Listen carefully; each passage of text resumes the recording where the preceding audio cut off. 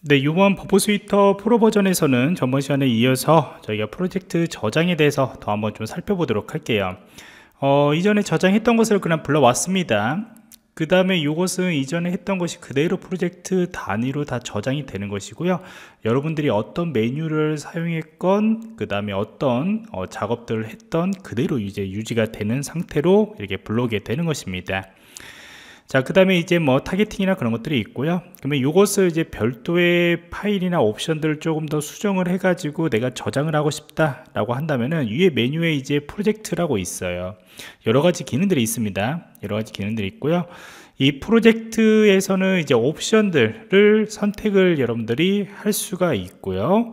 그 다음에 이제 기존 것을 불러왔는데 나는 기본적인 것을 사용해 가지고 그대로 어, 또 디폴트 버전으로 사용하고 싶다 라고 한다면은 이 리스토어 디테일이라고 하는 거에서 all을 선택하시면은 여러분들이 위에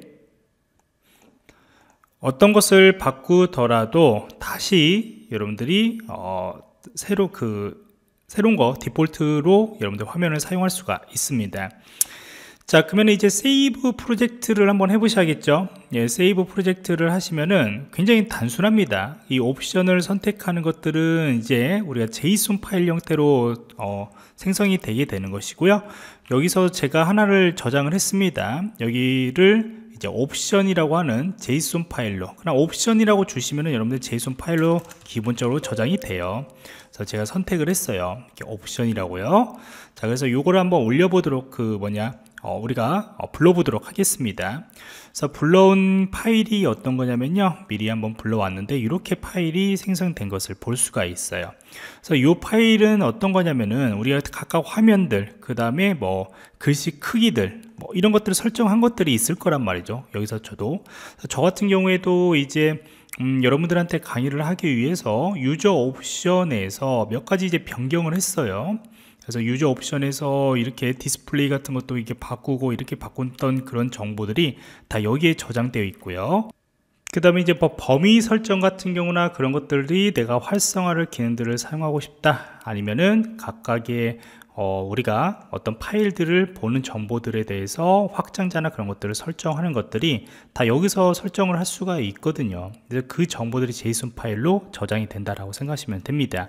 그래서 후에는 이렇게 저장을 하고 난 뒤에 어, 이것을 또 가져와 가지고 여러분들이 사용할 수가 있잖아요 그랬을 때 이제 load project option이라는 것을 이용해서 기존에 이것들도 수정 그 어, 우리가 텍스트 파일, JSON 파일로 누군가가 사용했던 것을 그대로 가져와서 또 사용할 수가 있잖아요. 그래서 그런 기능들이 여기에 있어요. 여러분들이 옵션이라고 하는 것들이 처음에 어, 이 Burp Suite 프로 버전을 실행을 할 때 어, 가져올 수도 있고 중간에 또 가져와서 여러분들이 사용할 수 있다 라 보시면 됩니다.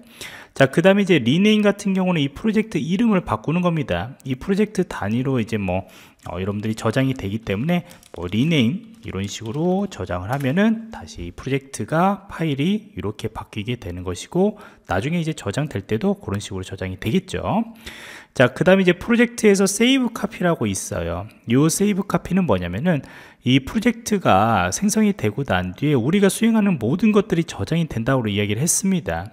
그런데 나는 이렇게 저장되어 있는 것들, 설정까지 포함이 되는 거잖아요. 설정까지 포함을 해서 나는 이런 것들을 저장하는 거에 대해서 일부 주요한 기능에 대해서는 어, 별도로 그냥 좀 어, 저장을 하고 싶다 새로운 프로젝트로 좀 저장을 해 가지고 나중에 후에 또 사용할 때 그것을 좀 불러오고 싶다. 한마디로 나는 프록시에 대한 것들은 뭐 저장하지 않고 어, 새로 이렇게 저장하지 않고 별도로 저장을 해서 좀 관리하고 싶다 라고 했을 때는 이렇게 여러분들이 관리를 할 수가 있어요.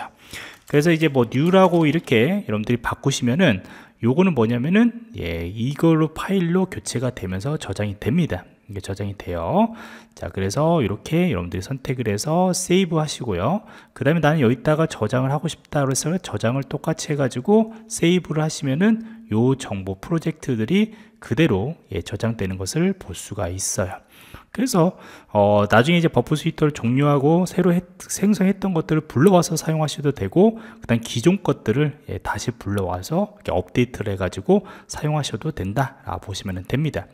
자 그래서 이제 프로젝트 기능에 대해서 좀 살펴봤습니다. 뭐 import는 이전에 있던 프로젝트 파일들을 다시 가져와서 여러분들 활용하시는 거라고 보시면 되죠.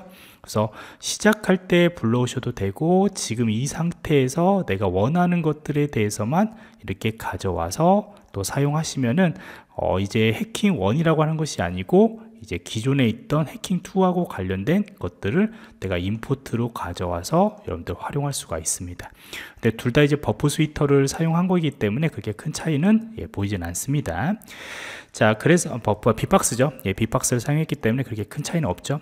자 그래서 여기까지 우리가 프로젝트의 저장 공간의 저장 그런 옵션에 대해서 한번 쭉 살펴봤습니다. 자 그래서 다음에는 또 다른 기능들을 하나씩 하나씩 또 살펴보도록 하겠습니다